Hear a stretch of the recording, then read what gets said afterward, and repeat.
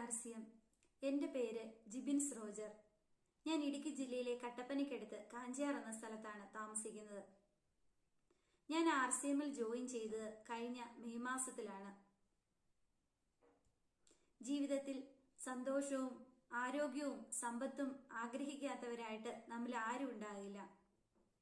ഇവ മൂന്ന് നമുക്ക് ലഭിക്കുന്ന ഒരു പ്ലാറ്റ്ഫോമാണ് ആർ സി എം സംശുദ്ധമായ ഉൽപ്പന്നങ്ങൾ ജനങ്ങളിലേക്ക് എത്തിക്കുന്ന ഒരു ഡയറക്ട് സെല്ലിംഗ് മാർക്കറ്റാണ് ആർ സി എം.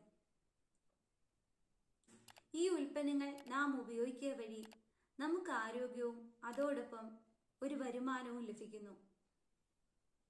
ഈ ഉൽപ്പന്നങ്ങളെ നാം മറ്റുള്ളവർക്കൊന്ന് പരിചയപ്പെടുത്തി കൊടുത്താലോ? അവരെയും ആരോഗ്യവും സമ്പത്തും നേടാൻ നാം പ്രാപ്തരാക്കുന്നു.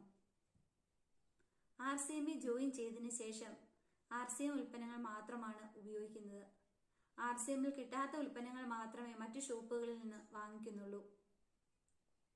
എന്നെ പോലെ തന്നെ ആർ സി എമ്മിൽ തുടക്കക്കാരായവരോട് എനിക്ക് പറയാനുള്ളത് നമുക്ക് ആർ സി എമ്മിൽ പ്രവർത്തിക്കാൻ കിട്ടിയ ഈ അവസരത്തെ നാം നന്നായി വിനിയോഗിക്കണമെന്നുള്ളതാണ്.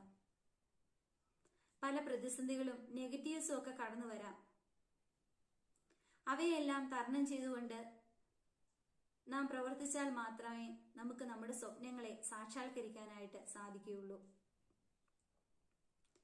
ചുവട്ടിൽ വെള്ളം ഒഴിച്ചു കൊടുത്തു വളർത്തിയ ഒരു ചെടിയും വളർന്ന് വലിയ വൃക്ഷങ്ങളായിട്ടില്ല. തനിക്ക് ആവശ്യമായ വെള്ളം വേരുകൾ കടത്തിവിട്ട് സ്വയം കണ്ടെത്തിയവ മാത്രമാണ് വളർന്ന് വലിയ വൃക്ഷങ്ങളായി തീർന്നിട്ടുള്ളൂ. ഉദാഹരണമായി നാം വളരെ പരിപാലിച്ച് വളർത്തുന്ന ഒരു വാഴച്ചെടിയുടെ കാര്യം തന്നെ എടുക്കാം. നാം അതിനെ തടവെടുത്ത് വെള്ളമൊഴിച്ച് വളവിട്ട് വളരെ കാര്യമായിട്ട് പരിപാലിക്കുന്നു.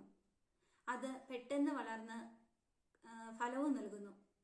എന്നാൽ ഒരു ചെറു കാറ്റടിക്കുമ്പോൾ തോട്ടത്തിൽ ഏറ്റവും ആദ്യം താഴെ വീഴുന്നത് ഈ വാഴച്ചെടിയായിരിക്കും.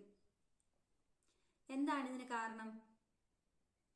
അതിന് നിത്യവും വെള്ളം ഒഴിച്ചു കൊടുത്തുകൊണ്ട് ഒരു ബുദ്ധിമുട്ടും അതിന്റെ ജീവിതത്തിൽ അനുഭവിക്കേണ്ടതായിട്ട് വന്നില്ല.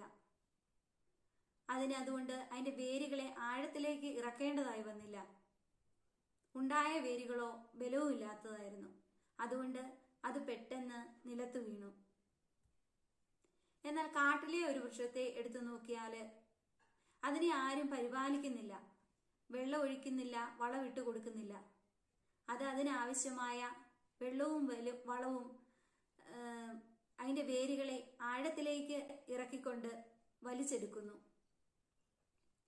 എത്ര വലിയ കാറ്റടിച്ചാലും ആടി ഉലഞ്ഞാലും അത് അവിടെ തന്നെ നിൽക്കുന്നു. കാരണം അതിന്റെ വേരുകൾ മണ്ണിലും പാറക്കെട്ടിലും ചുറ്റുപാടിലുമൊക്കെ ദൃഢമായിട്ട് വളർന്നു വരുന്നു.